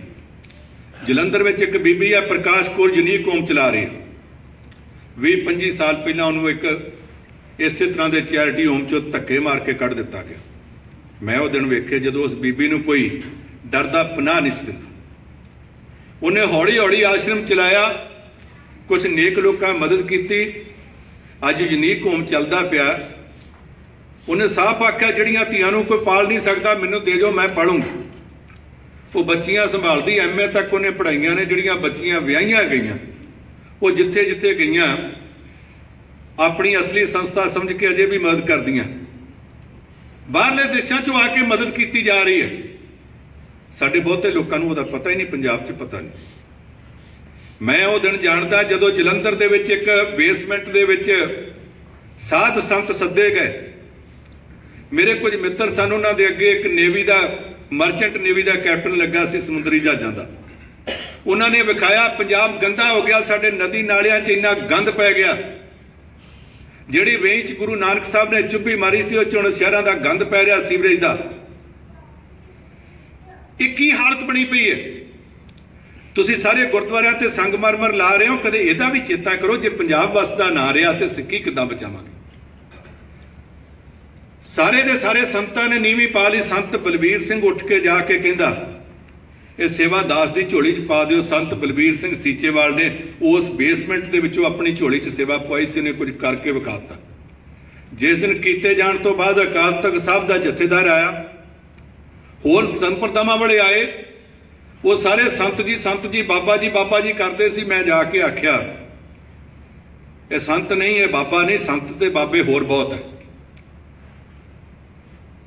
ਇਹ ਭਾਈ ਹੈ ਮੇਰੇ ਮੂੰਹ ਵੱਲ ਵੇਖਣ, ਮੈਂ ਕਿਹਾ ਤਰਨ ਤਰਨ ਦਾ ਸਰੋਵਰ ਜਦੋਂ ਬਣਾਉਣਾ ਸੀ, ਇੱਟਾਂ ਦੀ ਸੇਵਾ ਕੋਈ ਕਰਦਾ, ਪਾਣੀ ਦੀ ਕੋਈ ਕਰਦਾ, ਗਾਰੇ ਦੀ ਕੋਈ ਕਰਦਾ, ਪਰ ਉਦੋਂ ਦੇ ਸਿਸਟਮ 'ਚ ਇੱਟਾਂ 'ਚ ਮੈਲਾ ਪਾਉਣਾ ਪੈਂਦਾ ਸੀ, ਮੈਲੇ ਦੀ ਸੇਵਾ ਕੋਈ ਨਹੀਂ ਸੀ ਕਰਦਾ। ਇੱਕ ਜਣੇ ਨੇ ਟੋਕਰੀ 'ਚ ਮੈਲਾ ਪਾ ਕੇ ਲਿਆਂਦਾ, ਉਹਦਾ ਨਾਂ ਭਾਈ ਬੈਲੋਂ ਸੀ। ਜਦੋਂ ਗੁਰੂ ਸਾਹਿਬ ਆਏ, ਸਾਰਿਆਂ ਨੂੰ ਥਾਪੀ ਦਿੰਦੇ ਸੀ, ਉਹਨੇ ਆਖਿਆ, ਮਹਾਰਾਜ, ਮੇਰੇ ਤੋਂ ਪਿੱਛੇ ਰਿਓ ਮੈਂ ਲਿਬੜਿਆ ਪਿਆ। ਤੇ ਗੁਰੂ ਅਰਜਨ ਦੇਵ ਨੇ ਜਾ ਕੇ ਜੱਫੀ ਪਾ ਕੇ ਆਖਿਆ ਸੀ, ਭਾਈ ਬਹਿਲੋਂ ਤੂੰ ਸਾਰਿਆਂ ਤੋਂ ਪਹਿਲੋਂ। ਇਹ ਭਾਈ ਬਲਬੀਰ ਸਿੰਘ ਨੇ ਉਸ ਨਦੀ ਦੇ ਵਿੱਚੋਂ ਜਿੱਥੇ ਗੁਰੂ ਨਾਨਕ ਸਾਹਿਬ ਨੇ ਚੁੱਭੀ ਮਾਰੀ ਸੀ, ਉਹਦੇ ਚ ਸ਼ਹਿਰਾਂ ਦੇ ਸੀਵਰਾਂ ਦਾ ਮਲ ਮੂਤਰ ਗੰਦ ਸਾਫ਼ ਕੀਤਾ। ਭਾਈ ਬਹਿਲੋਂ ਤੋਂ, ਅੱਜ ਬਾਅਦ ਦੂਸਰਾ ਮੈਨੂੰ ਭਾਈ ਭਾਈ ਤੁਹਾਡੇ ਤੇ ਭਾਈ ਬਲਬੀਰ ਸਿੰਘ ਮਿਲਿਆ, ਜੇ ਕੋਈ ਤੀਸਰਾ ਹੈਗਾ ਤੇ ਤੁਸੀਂ ਦੱਸ ਦਿਓ ਇਸ ਕਰਕੇ ਮੇਰੇ ਲਈ ਸੰਤ, ਮੇਰੇ ਲਈ ਬਾਬਾ ਨਹੀਂ, ਮੇਰੇ ਲਈ ਭਾਈ ਬਲਬੀਰ ਸਿੰਘ। ਇਸ ਤਰ੍ਹਾਂ ਦੇ ਹੋਰ ਹੈਗੇ ਨੇ। ਮੈਂ ਤੁਹਾਨੂੰ ਇਹ ਬੇਨਤੀ ਕਰੂੰਗਾ ਸਰਕਾਰਾਂ ਵੱਲ ਨਾ ਝਾਕੋ। ਮੈਂ ਫੇਰ ਉੱਥੇ ਆਉਣਾ। ਮੈਂ ਤੁਹਾਨੂੰ ਬੇਨਤੀ ਕਰਾਂ, ਤੁਸੀਂ ਮੈਨੂੰ ਪੈਸਿਆਂ ਤੋਂ ਨਾ ਕਰ ਦਿਓ ਤੁਸੀਂ ਇੰਨਾ ਪਿਆਰ ਕਰਦੇ ਹੋ, ਜਿੰਨੇ ਮਰਜ਼ੀ ਮੈਂ ਇਕੱਠੇ ਕਰ ਲਾਂ, ਮੈਨੂੰ ਪੈਸੇ ਨਹੀਂ ਚਾਹੀਦੇ। ਮੈਨੂੰ ਤੁਹਾਡਾ ਆਸ਼ੀਰਵਾਦ ਚਾਹੀਦਾ, ਮੈਂ ਤੁਹਾਡੇ ਤੋਂ ਕੁਝ ਮੰਗਣ ਵਾਸਤੇ ਆਇਆ, ਆਪਣੇ ਨਿੱਜ ਲਈ ਨਹੀਂ ਮੰਗ ਰਿਹਾ। ਮੈਂ ਪੰਜਾਬ ਨਹੀਂ ਮੰਗ ਰਿਹਾ। ਔਰ ਮੰਗਣ ਲੱਗਿਆ, ਮੈਂ ਤੁਹਾਨੂੰ ਮਸਾਲਾ ਦੇਣੀਆਂ ਚਾਹੁੰਦਾ। ਦੁਆਬੇ ਦੇ ਵਿੱਚ ਕਰਵਾਇਆ ਤਾਂ ਕਿਸੇ ਦਾ ਕੋਈ ਬਜ਼ੁਰਗ ਗੁਜ਼ਰ ਜਾਵੇ ਕੁਝ ਹੋ ਜਾਵੇ ਤੇ ਪਿੰਡ ਦੇ ਬਾਹਰ ਇੱਕ ਗੇਟ ਬਣਾ ਦਿੰਦੇ ਆ। ਫਿਰ ਸਰੀਕਾ ਚੋਂ ਕਿਸੇ ਦਾ ਗੁਜ਼ਰ ਜਾਵੇ ਤੇ ਉਹ ਦੂਜਾ ਗੇਟ ਬਣਾ ਦਿੰਦੇ। ਜਦੋਂ ਸਾਰੇ ਰਸਤੇ ਬੰਦ ਹੋ ਜਾਂਦੇ ਆ, ਫਿਰ ਇੱਕੋ ਗੇਟ ਦੇ ਅੱਗੇ ਦੂਸਰਾ ਗੇਟ ਬਣਦਾ। ਇੱਕ ਪਿੰਡ ਮੈਂ ਤਿੰਨ ਗੇਟ ਵੀ ਇੱਕੋ ਸੜਕ ਤੇ ਬਣੇ ਵੇਖੇ। ਇਹ ਗੇਟ ਰਹਿਣੇ ਨਹੀਂ। ਕਿਸੇ ਦਿਨ ਕਿਸੇ ਸ਼ਰਾਬੀ ਟਰੈਕਟਰ ਵਾਲੇ ਨੇ ਗੇਟ ਵੀ ਡੇਗਣਾ ਤੇ ਆਪ ਵੀ ਥੱਲੇ ਆ ਕੇ ਮਰਨਾ। ਇਹਦੀ ਥਾਂ ਤੇ ਵਧੀਆ ਰਵਾਇਤ ਕੀ ਹੈ? ਨੂਰ ਮਹਿਲ ਦੇ ਨੇੜਿਓਂ ਜੇ ਕੋਈ ਤੁਹਾਡੇ ਚੋਂ ਆਏ ਹੋਣ ਤੇ ਉਹ ਦੱਸਿਓ। ਲਾਗੇ ਚੀਮਾ ਪਿੰਡ ਹੈ ਚੀਮਾ ਕਲਾਂ ਵੀ, ਚੀਮਾ ਖੁਰਦ ਵੀ। ਮੈਂ ਉੱਥੋਂ ਦਾ ਸਕੂਲ ਵੇਖ ਕੇ ਆਇਆ 60 ਦੇ ਵੱਧ ਕਮਰੇ ਨੇ।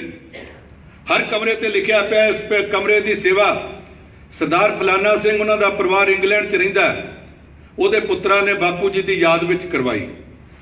ਇੱਕ ਕਮਰੇ ਤੇ ਲਿਖਿਆ, ਮਾਤਾ ਕਰਤਾਰ ਕੌਰ ਦੇ ਪੁੱਤਰ ਅਮਰੀਕਾ 'ਚ ਰਹਿੰਦੇ ਆ। ਇੱਕ ਤੇ ਲਿਖਿਆ, ਫਲਾਨਾ ਮੁੰਡਾ ਐਕਸੀਡੈਂਟ ਦੇ ਵਿੱਚ ਨੌਜਵਾਨ ਗੁਜ਼ਰ ਗਿਆ ਸੀ। ਉਹਦਾ ਪਰਿਵਾਰ ਕੈਨੇਡਾ 'ਚ ਰਹਿੰਦਾ, ਆਹ ਕਮਰਾ ਉਹਨਾਂ ਬਣਾ ਕੇ ਦਿੱਤਾ। ਐਸ ਹਾਲ ਕਮਰੇ ਜਿਹੜਾ ਹਾਲ ਕਮਰਾ ਜਿਹੜਾ ਇੱਕੋ ਪਰਿਵਾਰ ਨਹੀਂ ਸੀ ਬਣਾ ਸਕਦਾ। ਚਾਰ ਪੱਖੇ ਨੇ, ਚਾਰੇ ਪੱਖਿਆਂ ਦੀ ਸੇਵਾ ਅੱਡ-ਅੱਡ ਪਰਿਵਾਰਾਂ ਨੇ ਕਰਵਾਈ ਹੈ। ਉਹ ਗੇਟ ਜਿਹੜੇ ਬਣਾਇਆ ਗਿਆ ਗੁਰਬਾਣੀ ਕਹਿੰਦੀ, ਸਿਮਲ ਰੁਖ ਸਰਾਇਰਾ ਅਤ ਦੀਰ ਕੇ ਅਤ ਮੁੱਚ, ਓਏ ਜੇ ਆਵੇ ਆਸ ਕਰ ਜਾਏ ਨਰਿਸ- ਕਿਤ, ਫਲ ਫਿੱਕੇ ਫੁੱਲ ਬਕ ਬਕੇ ਕੰਮ ਨਾ ਆਵੇ ਪਤ ਇਹ ਜਿਹੜੇ ਗੇਟ ਆ, ਮੀਂਹ ਆਵੇ, ਕਿਸੇ ਨੂੰ ਭਿੱਜਦੇ ਨੂੰ ਬਚਾਉਣ ਜੋਗੇ ਨਹੀਂ, ਧੁੱਪ ਲੱਗੇ, ਸੜਦੇ ਨੂੰ ਬਚਾਉਣ ਜੋਗੇ ਨਹੀਂ, ਇਹਨਾਂ ਦਾ ਕੋਈ ਫਾਇਦਾ ਨਹੀਂ। ਇਹ ਸਿਮਲ ਰੁੱਖ ਨੇ। ਇਹਨਾਂ ਦੀ ਥਾਂ ਦੇ ਉੱਤੇ ਕੀ ਤੁਸੀਂ ਸਕੂਲਾਂ 'ਚ ਜਾ ਕੇ ਇਸ ਤਰ੍ਹਾਂ ਦਾ ਪ੍ਰਬੰਧ ਨਹੀਂ ਕਰ ਸਕਦੇ? ਮੈਂ ਇੱਕ ਪਿੰਡ ਹੋਰ ਵੇਖਿਆ ਹੈ। ਰਕਬਾ ਪਿੰਡ ਹੈ ਜਗਰਾਉਂ ਦੇ ਲਾਗੇ। ਉੱਥੋਂ ਦੇ ਲੋਕਾਂ ਨੇ ਇਸ ਤਰ੍ਹਾਂ ਪਿੰਡ ਦੀ ਸੇਵਾ ਕੀਤੀ ਹੈ। ਮਾਲਪੁਰ ਦੇ ਲਾਗੇ ਖੜੌਦੀ ਵਾਲਿਆਂ ਕੀਤੀ ਹੈ। ਮੈਂ ਹੁਣੇ ਨੂਰਮਹਿਲ ਤੇ ਨਕੋਦਰ ਦੇ ਵਿਚਾਲੇ ਸੰਘੇ ਖਾਲਸਾ ਪਿੰਡ 'ਚ ਹੋ ਕੇ ਆਇਆ। ਉੱਥੋਂ ਦੇ ਤਿੰਨ ਭਰਾਵਾਂ ਨੇ, ਤਿੰਨੇ ਚਾਚੇ ਤਾਏ ਦੇ ਪੁੱਤ ਸਨ, ਇੱਕ ਭੂਆ ਦਾ ਪੁੱਤ, ਨਾਨਕੇ ਰਹਿੰਦਾ ਸੀ। ਪਿੰਡ ਦਾ ਛੱਪੜ ਪੂਰਨ ਤੋਂ ਸ਼ੁਰੂ ਕੀਤਾ ਫਿਰ ਪਿੰਡ 'ਚ ਸੀਵਰੇਜ ਪਾਇਆ। ਸੀਵਰੇਜ ਤੇ ਮਸ਼ੀਨਾਂ ਲਾਤੀਆਂ ਉਹਨਾਂ ਮਸ਼ੀਨਾਂ ਨਾਲ ਟਿਊਬਵੈਲ ਵਰਗਾ ਵਧੀਆ ਪਾਣੀ ਨਿਕਲਦਾ। ਉਹ ਖੇਤਾਂ ਨੂੰ ਦਿੰਦੇ ਆ। ਪਿੰਡ 'ਚੋਂ ਦੋ ਕਿਸਮ ਦੇ ਪਾਈਪ ਪਾਤੇ ਇੱਕ ਗੰਦੇ ਪਾਣੀ ਵਾਸਤੇ ਸੀਵਰੇਜ ਵਾਸਤੇ ਇੱਕ ਬਰਸਾਤੀ ਪਾਣੀ ਵਾਸਤੇ ਜਿਹੜਾ ਖੂਹਾਂ 'ਚ ਸੁੱਟ ਦਿੱਤਾ ਹੈ, ਤਾਂ ਕਿ ਬਰਸਾਤਾਂ ਦਾ ਪਾਣੀ ਵੀ ਫालतू ਨਾ ਜਾਵੇ ਤੇ ਰੀਚਾਰਜਿੰਗ ਹੁੰਦੀ ਰਹੇ ਪਿੰਡ ਵਿੱਚ ਸੀਸੀਟੀਵੀ ਕੈਮਰੇ ਲਾਉਂਦੇ ਪਏ। ਉਹਨਾਂ 'ਚੋਂ ਇੱਕ ਜਣਾ ਨਿਰਮਲ ਸਿੰਘ ਬਰਮਿੰਗਮ 'ਚ ਰਹਿੰਦਾ ਉਹਦੀ ਕੁੜੀ ਦਾ ਵਿਆਹ ਸੀ।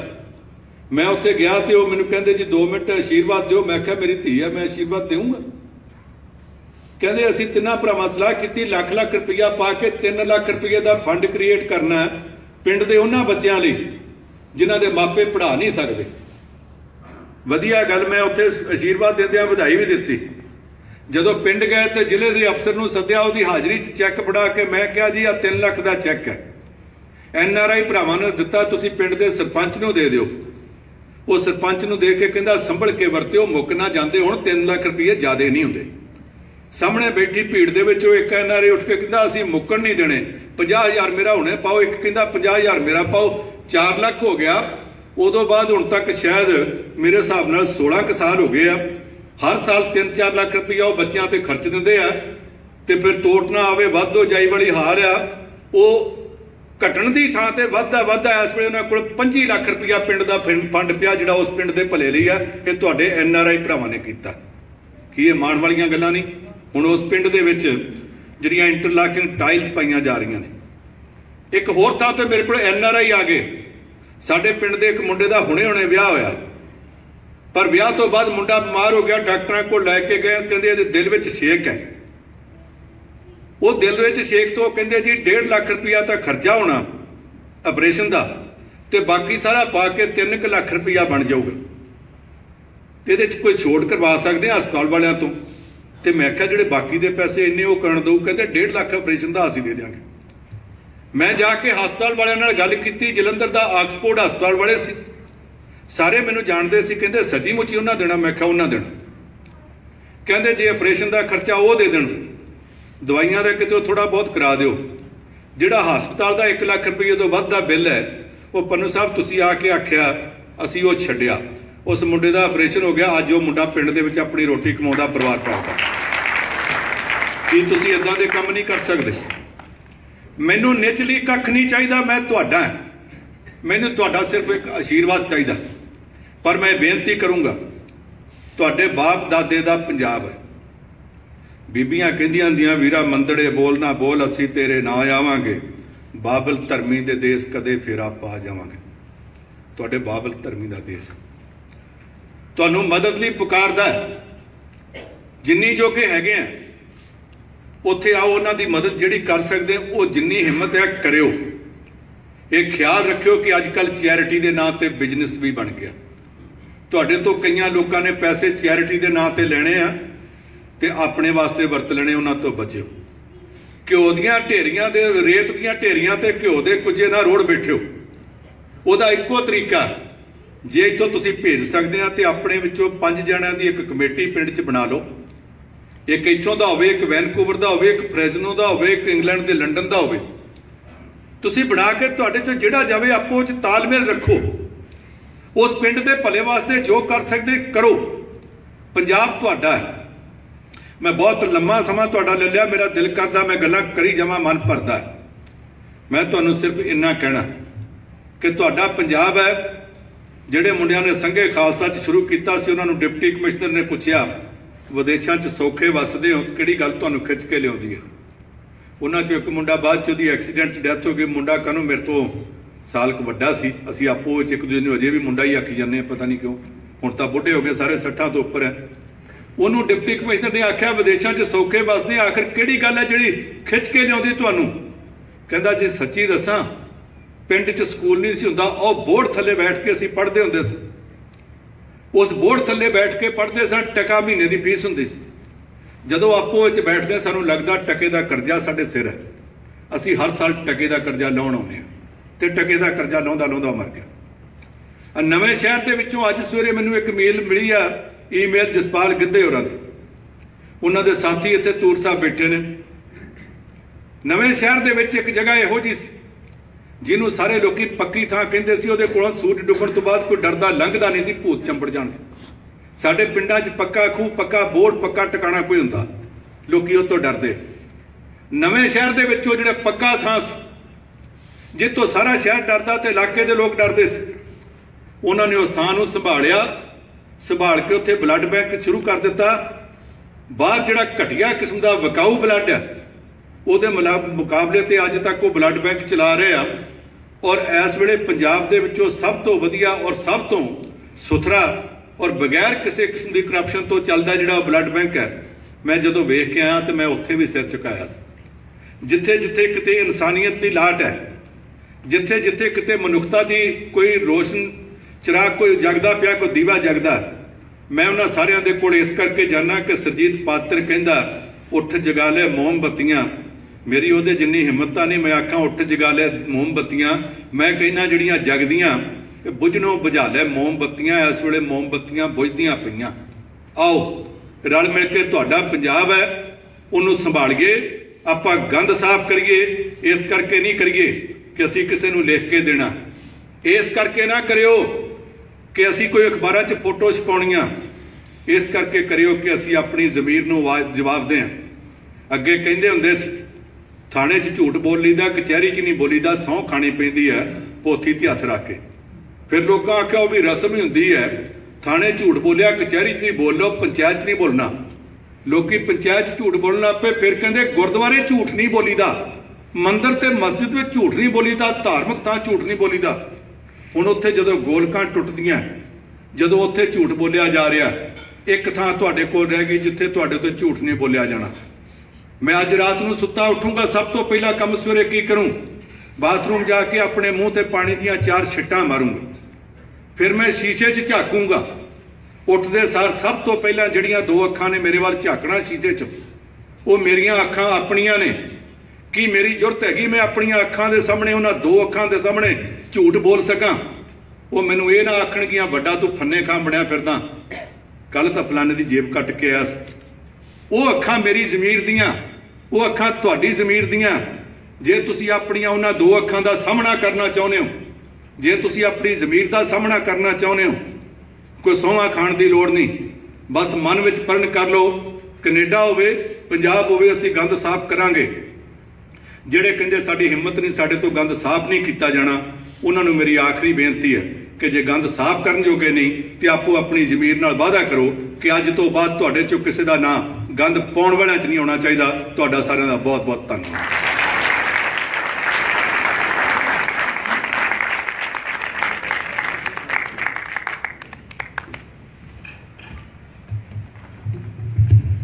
ਧੰਨਵਾਦ ਬਹੁਤ ਬਹੁਤ ਪੰਨੂ ਸਾਹਿਬ। ਹੁਣ ਮੈਂ ਮੀਡੀਆ ਐਸੋਸੀਏਸ਼ਨ ਦੇ ਜਿਹੜੇ ਸਾਡੇ ਮੈਂਬਰ ਸਹਿਬਾਨ ਨੇ ਉਹਨਾਂ ਨੂੰ ਬੇਨਤੀ ਕਰਦਾ ਵੀ ਸਟੇਜ ਤੇ ਆਉਣ ਇੱਕ ਮਿੰਟ ਲਈ।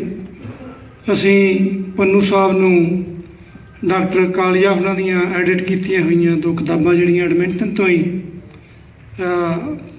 ਪ੍ਰੋਗਰੈਸਿਵ ਪੀਪਲਸ ਫਾਊਂਡੇਸ਼ਨ ਨੇ ਛਾਪੀਆਂ ਸਨ। ਅ, 2013 ਦੀ ਜਿਹੜੀ ਗਦਰ ਸ਼ਤਾਬਦੀ ਉਹਦੇ ਤੇ ਤੇ ਸ਼ਹੀਦ ਆਜਮ ਕਰਤਾਰ ਸਿੰਘ ਸਰਾਭਾ ਉਹਨਾਂ ਦੀ ਜਿਹੜੀ ਸ- ਸੌਵੀਂ ਸ਼ਹੀਦੀ ਵਰੇਗੰਢ ਸੀ, ਉਹਨਾਂ ਨੂੰ ਸਮਰਪਿਤ ਜਿਵੇਂ ਦਾ ਪੰਨੂ ਸਾਹਿਬ ਨੇ ਹੁਣੇ ਆਪਣੇ ਭਾਸ਼ਣ ਦੇ ਵਿੱਚ, ਆਪਣੇ ਵਿਚਾਰਾਂ ਦੇ ਵਿੱਚ ਗੱਲ ਕਹੀ ਹੈ, ਤੇ ਕਰਤਾਰ ਸਿੰਘ ਸਰਾਭਾ ਸਾਡੇ ਹੀਰੋ, ਜਿਹੜੇ 19 ਸਾਲ ਦੀ ਉਮਰ 'ਚ ਇੱਥੇ ਪੜ੍ਹਨ ਆਏ ਸੀ, ਵਾਪਸ ਚਲੇ ਗਏ, ਤੇ ਜਿਨ੍ਹਾਂ ਨੇ ਹਿੰਦੁਸਤਾਨ ਦੇ ਵਿੱਚ ਆਉਣ ਵਾਲੀਆਂ ਲਗਾਤਾਰ ਜਿਹੜੀਆਂ ਚੱਲ ਰਹੀਆਂ ਮੂਵਮੈਂਟਸ ਫਰੀडम ਮੂਵਮੈਂਟਸ ਤੇ ਅੱਜ ਵੀ ਲਗਾਤਾਰ ਉਹ ਲੋਕਾਂ ਨੂੰ ਇਨਸਪਾਇਰ ਕਰ ਰਹੇ ਨੇ ਉਹਨਾਂ ਦੀ ਜੀਵਨੀ ਦੇ ਸੰਬੰਧ ਵਿੱਚ ਕਿਤਾਬ ਐਡਿਟ ਕੀਤੀ ਸੀ।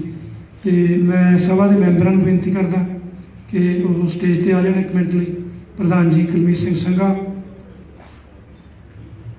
ਮੀਤ ਪ੍ਰਧਾਨ ਰਾਜਵਿੰਦਰ ਜੀ, ਮੀਤ ਪ੍ਰਧਾਨ ਗੁਰਪ੍ਰਿੰਦਰ ਸਿੰਘ ਸੰਧੂ, ਨਵਤੇਜ ਜੀ, ਨਵਤੇਜ ਬੈਂਸ, ਗੁਰਸ਼ਰਨ ਸਿੰਘ ਗੁਰਸ਼ਰਨ ਸਿੰਘ ਬੁੱਟਰ ਜੀ, ਡਾਕਟਰ ਕਾਲੀਆ ਤੇ